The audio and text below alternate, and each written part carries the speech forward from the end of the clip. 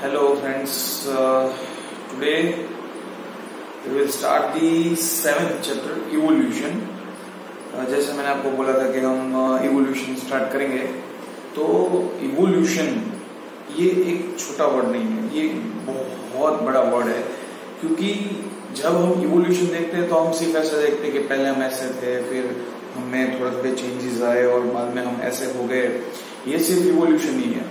Evolution start from the origin of Earth at the origin of galaxy जो galaxy बन बन रही है, वहाँ से शुरू करके जब लाइफ फ़र्स्ट टाइम बनती है, वहाँ से शुरू करके अभी जो एटमोस्फियर है, अभी जो इकोसिस्टम है, अभी जो एनवायरमेंट है, अभी जो ऑर्गेनिज्म है, वो सब कैसे आए, उसमें क्या क्या डिफरेंस आए, उसमें क्या क्या इवो नया नया नए नए कैरेक्टर्स डेवलप हुए वो सब इवोल्यूशन है।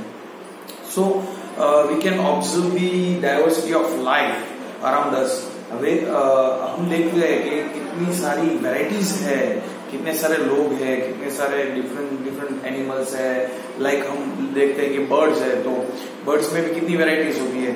आप कोयल को देख लीजिए क्रो देखिए आप काइट को देखिए तो आप हमको काफ़ी वेराइटी मिलती है बर्ड्स में। लाइकवाइज सबसे ज़्यादा वेराइटी मिलती है हमको इंसेक्ट में आप इंसेक्ट देखिए तो उसमें भी काफ़ी वेराइटीज है। इंसेक्ट काफ़ी डिफरेंट टाइप के इंसेक्ट आते हैं। कोई विंग्स है कोई इस, इसमें विंग्स है किसी में विंग्स नहीं है। तो इंसेक्ट में प्लांट में बर्ड में प्लांट्स में भी काफ़ी वेराइटीज है। आपने देखा है कि लीफ का शेप डिफरेंट होता है। सीड होता है उसका वो shape and size and colour and flower varieties and so many varieties and so many diversities are there in our earth ये सब कहाँ से है? तो पहला क्वेश्चन हमको आता है कि ये ये सब कहाँ से आते हैं? ये डाइवर्सिटी कहाँ से आती है? डाइवर्सिटी कहाँ से आई होगी? तो हम ये सब अगर सोचने बैठे तो हम स्टार्ट कहाँ से करें कि ये इवोल्यूशन जो इवोल्यूशन का मतलब क्या है? अभी जो यहाँ पे है, वो कहाँ से आया है? अभी जो यहाँ पे है, वो कहाँ से आया है कि ये जो कैरेक्टर्स अभी जो हमको ऑर्गेनिज्म में दिखते हैं, वो कैरेक्टर्स कहाँ से डेवलप हुए, कैसे डेवलप हुए, वो हमको मालूम नहीं है। तो वो हम देखते हैं कि ये लाइफ ये जो लाइफ है, जो डिफरेंट ऑर्गेनिज्म है, वो कहाँ से स्टार्ट होंगे लाइफ का ओरिजिन कहाँ से होगा? ये सब इवोल्यूशन है। तो सिर्फ़ इवोल्यूशन को हम ऐसे ही नहीं देखते कि कौन से कैरेक्टर चेंज हुए। लेकिन इवोल्यूशन को हम साथ में जोड़ते हैं इकोलॉजी के, कि जो एनवायरमेंटल चेंजेस है, वो इंडिविजुअल पे कैसे इफ़ेक्ट हुए और उसमें कौन से चेंजेस आए। दूसरा हम जेनेटिकली चेंजेस देखेंगे कि जो एनिमल और इंडिविजुअल और ऑर्गेनिज्म है, उसके जीन में कैसे चेंज आया अकॉर्डिंग टू एनवायरमेंट के उसकी वजह से उसे अपनी कैरेक्टर्स को चेंज करना पड़ा, अपने हुलिये को चेंज करना पड़ा, अपनी एक्सटर्नल मॉर्फोलॉजी है, अपनी फिजियोलॉजी है, वो सब चेंज करनी पड़ी। अकॉर्डिंग टू एनवायरमेंट वो सब हम देखते हैं तो वो इवोल्यूशन हो जाता है कि वे we start from the species when the first species जो बनती थी वो बने, बनी होगी, वहाँ से लेके यहाँ तक जब हम फुल्ली डेवलप्ड एनिमल है फुल्ली इंटेलिजेंट ब्रदर एनिमल है तो वो हम यहाँ तक कैसे पहुँचे? अगर हम वो देखने जाए तो हम स्टार्ट करते हैं फ्रॉम द बिगिनिंग कि गैलेक्सी कहाँ से बनी। तो आपको पता ही है कि स्पेस में काफ़ी थियोरीज है फिजिक्स में काफ़ी थियोरीज है कि गैलेक्सी कैसे बनी।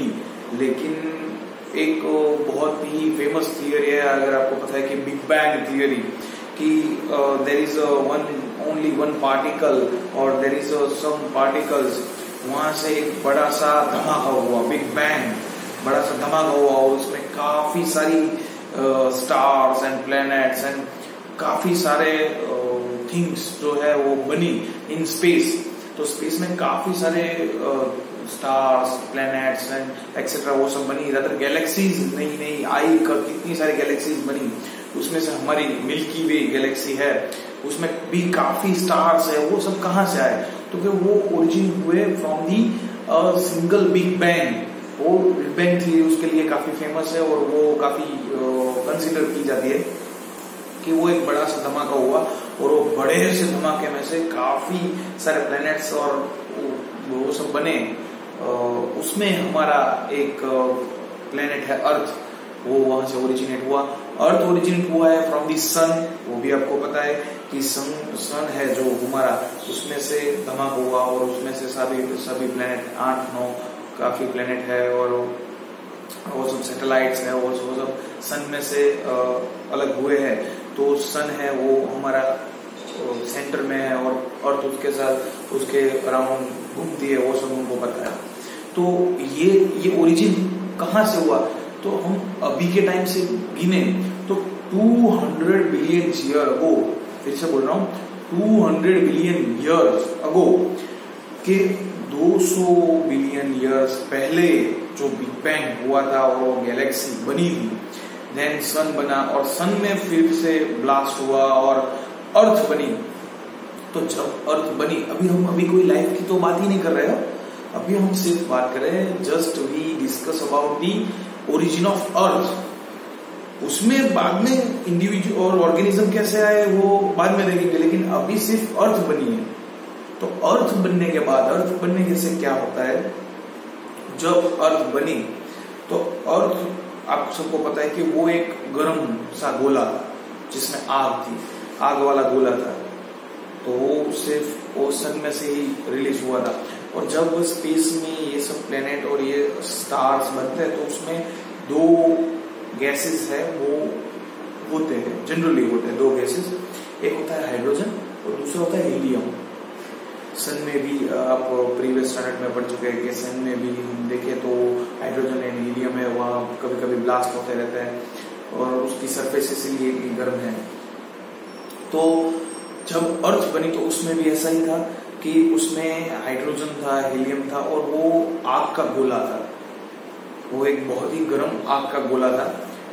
जैसे जैसे वो सन से दूर हुआ, उसकी एक ग्रेविटेशनल सरफेस सॉरी एक ग्रेविटेशनल फोर्स की वजह से वो अर्थ पूरी घूमती, वो अपने सरफेस पे भी घूमती है और अराउंड दी सन भी घूमती है। तो ये जो अर्थ है, ये जो गर्म आग का गोला है, अभी अर्थ नहीं है तो वो धीरे धीरे धीरे स्लोली स्लोली फ्रीज हुआ। उसमें उसमें थोड़ी ठंड हुई। क्यों? क्योंकि ये आग का जो गोला था, उसमें से काफ़ी वेपर्स काफ़ी गैस निकलती थी, उसमें कार्बन डाइऑक्साइड अभी आ चुका है। अभी उसमें काफ़ी सारे गैसेस है, वो आएँगे।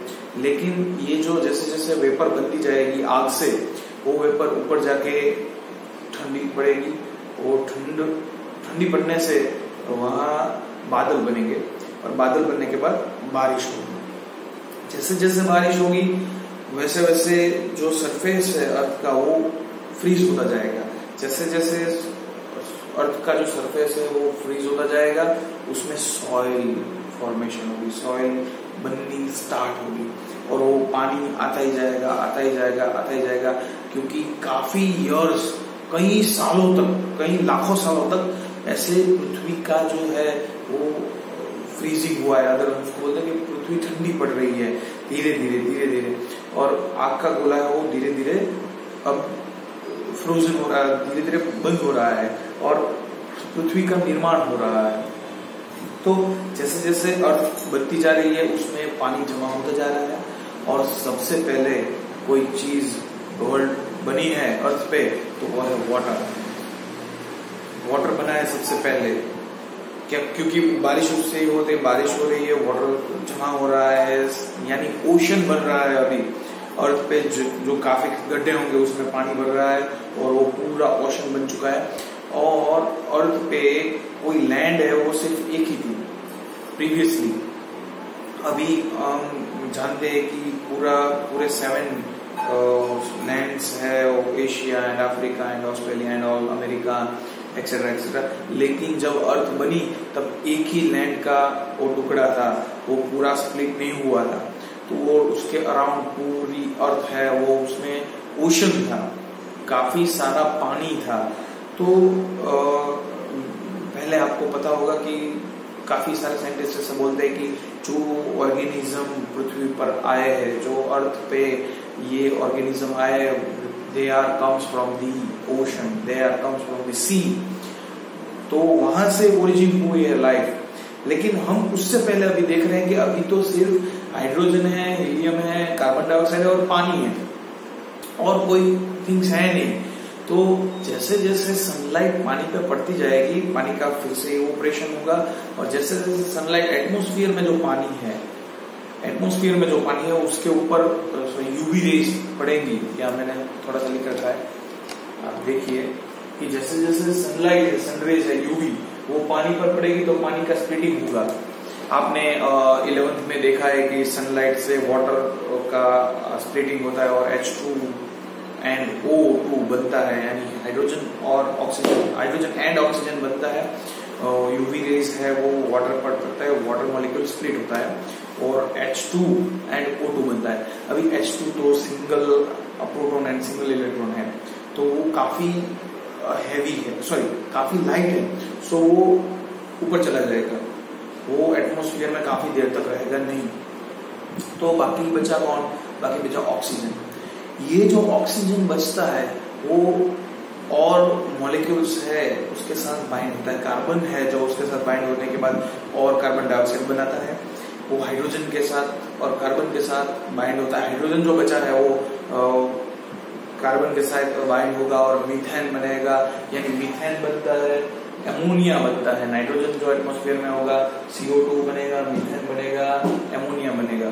ये सब मॉलिक्यूल्स बनेंगे। ये अभी माइक्रो मॉलिक्यूल्स है।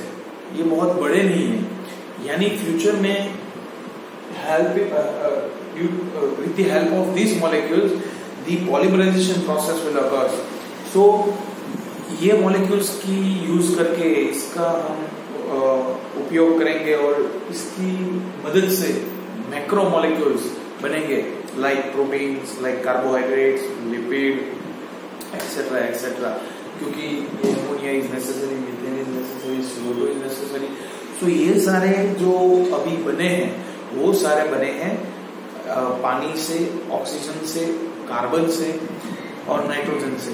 तो ये सारे माइक्रो मॉलिक्यूल्स है, वो बनते हैं ऊपर से एटमोस्फियर में जैसे जैसे ऑक्सीजन ऊपर चलता है, ऊपर चला जाएगा और ऊपर जाने के बाद वो पूरा लेयर बनेगा जो ओजोन लेयर बनाता है ऑक्सीजन तो ऑक्सीजन की मदद से पृथ्वी के ऊपर एक ओजोन लेयर भी बनता है। तो ये सारा इवोल्यूशन है, ये स्टार्ट होता है। तो ये अभी अर्थ बनी है। अभी ऑर्गेनिज्म कोई भी बना नहीं है। अर्थ में क्या हुआ है? अर्थ सन से अलग हुई है। अर्थ सन से अलग होने के बाद पूरी आग का गोला थी उसमें से धीरे धीरे बारिश होती है रेनफॉल होता है। रेनफॉल होने के बाद वो एकदम जम जाती है। उसमें डिफरेंट गैसेस होते हैं CO methane ammonia oxygen water का स्प्लिटिंग होता है। O2 बनता है H2 बनता है ऑजोन बनता है। और ये सारी पृथ्वी बनती है अब हम बात करते हैं कि ये पृथ्वी बन चुकी है। अभी हमने, मैंने पहले वो बोला कि ये मॉलिक्यूल्स का यूज़ करके, लेकिन पहले के जो लोग कैसे थे कि उनका कोई साइंटिफिक विजन नहीं था। इसीलिए अलग अलग लोग अभी हम इंडिया में भी मानते हैं, अगर कोई चमत्कार हुआ, चमत्कार मानते हैं लोग किसी साइंटिफिक मेथड को। कि ये सब चमत्कार है। वैसे पहले जब लाइफ पृथ्वी पे आई थी तो उसकी काफ़ी हाइपोथेसिस थी। वो काफ़ी इंटरेस्टिंग है, वो लोग अलग अलग हाइपोथेसिस बोलते हैं। जैसे कि अर्थ जब पहली बार बनी तो अर्थ बनने के बाद ऑर्गेनिज्म और प्लांट और एनिमल्स कैसे आए पृथ्वी पर? तो काफ़ी सारे ऐसे बोलते हैं कि ग्रीक हाइपोथेसिस है, काफ़ी ग्रीक फिलोसोफर्स एंड साइंटिस्ट है, वो ऐसा बोलते थे कि अर्थ पे जो ऑर्गेनिज्म है वो बाहर से आई यानी स्पेस से आई। कि पहले स्पेस में ऐसे कोई ऐसे जो कोई चीज़ आ, आ, आ रही है और स्पेस से चीज़ आने के बाद वो यहाँ एक्सप्लोर हुई और यहाँ काफ़ी सारे ऑर्गेनिज्म बन चुके हैं। तो we are come from the space we are aliens ऐसे उनके हाइपोथेसिस थी कि वी आर एलियंस हम बाहर से है हम पृथ्वी के नहीं है और यहाँ पे बने भी नहीं तो ये हाइपोथेसिस है ये ये अभी सत्य नहीं है। ये एक हाइपोथेसिस है। बाकी आ, काफ़ी सारी हाइपोथेसिस है। एक हाइपोथेसिस ऐसी है कि हम बने हैं डेड ऑर्गेनिक मैटर से। सॉरी डिकेइंग मैटर यानी मर्ड जो बन चुका है और वो डिकेइंग मटेरियल है कोई पृथ्वी के लेयर में तो वहाँ से लाइफ की ओरिजिन हुई है। डिकेइंग मटेरियल यानी मॉड और एक्सेट्रा स्ट्रो और एक्सेट्रा जो काफ़ी है। डिकेइंग मटेरियल है, जो डिग्रेड हो रहा है, उसमें से लाइफ ओरिजिनेट हुई, ये भी एक हाइपोथेसिस है। और एक इंटरेस्टिंग हाइपोथेसिस ये है कि पूरा जो वर्ल्ड है आपके बुक में ली है, पूरा जो वर्ल्ड की जितनी भी पॉपुलेशन है, वो सिर्फ़ सात दिनों में बनी है। ये भी एक हाइपोथेसिस है कि पूरा जो जो कोई चर्च के फादर है, वो उसने बोला था ऐसा।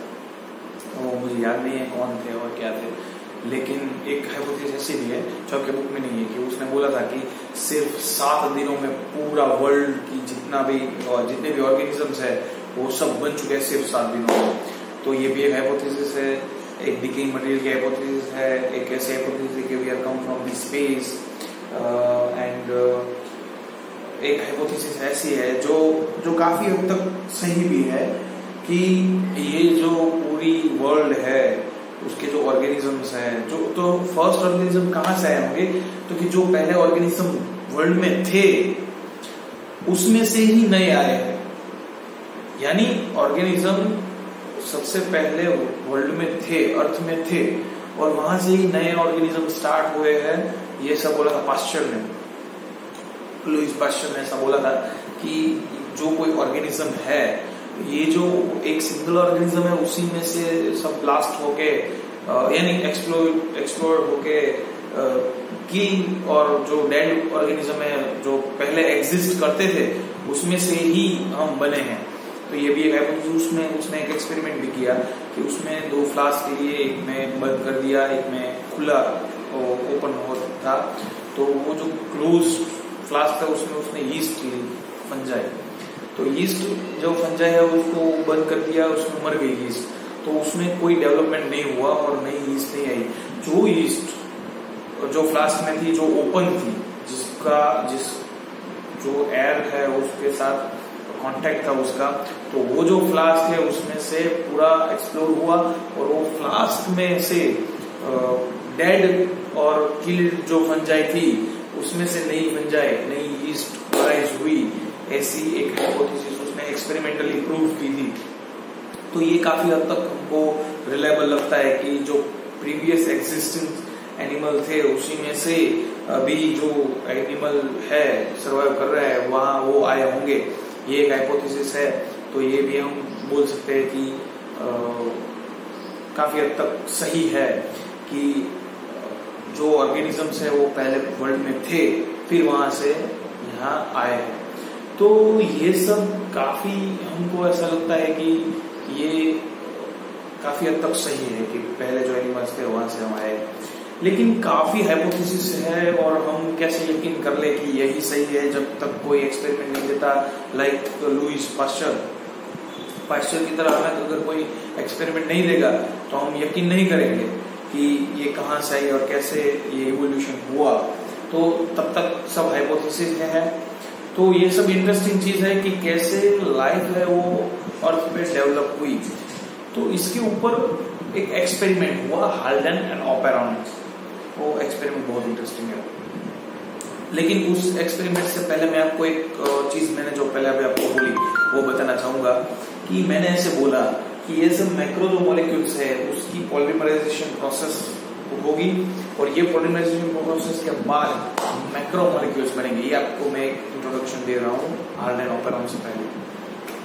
बाद में हम मार्डन ऑपेरॉन की बात करेंगे, वो बाद में करेंगे ऑपेरिन और हाल्डेन सो पहले हम ये बोल थे कि हाइड्रोजन हीलियम ऑक्सीजन ये तीन थे देन कार्बन चार एंड नाइट्रोजन पाँच।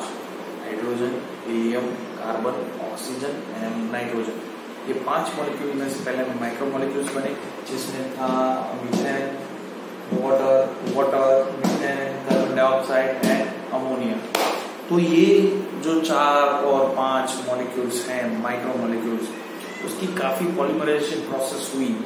किसकी प्रेजेंस में, कैसे हुई, वो भी बात करेंगे, वो भी एक एक्सपेरिमेंट है। क्यों? और क्योंकि हम साइंस के स्टूडेंट है, हम एक्सपेरिमेंट के बिना मानते नहीं कि अगर आप ये चीज़ बता रहे हो तो पहले हमें वो प्रूव करके दिखाओ कि ये चीज़ है, तभी हम मानेंगे। और ये तो इवोल्यूशन है। हम क्यों यकीन करें? ये साइंस है प्योर साइंस है हम क्यों यकीन करें? तो वो एक्सपेरिमेंट कुछ ऐसा था कि पानी में और एटमोस्फियर में काफ़ी सारी फ़िज़िकल एक्टिविटीज़ होती है लाइक बादल गरजना बिजली हो, हो रही है।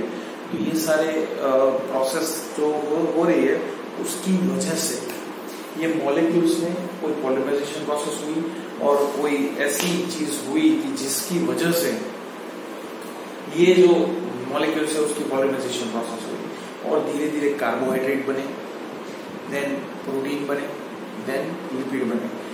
जब ये पॉली मर्स सारे कार्बोहाइड्रेट लिपिड एंड प्रोटीन ये सब बन चुके हैं बन चुके बन बने बनने के बाद वो एक, एक दूसरे के करीब आए और वो कुछ ऐसा अरेंजमेंट हुआ कि वो सारे micro molecules sorry macro molecules करीब आने के बाद उसका कुछ ऐसा अरेंजमेंट हुआ कि वो एक दूसरे के साथ ऐसे कोरिलेट करने लगे।